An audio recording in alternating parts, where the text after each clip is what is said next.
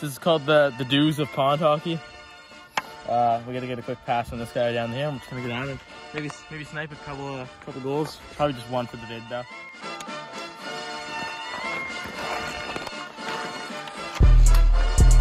Jump in that, some in that bitch. Jump in that, jump in that fire. Jump in that bitch, hitting that fire. Jump in that whip, jump in that bitch. Come in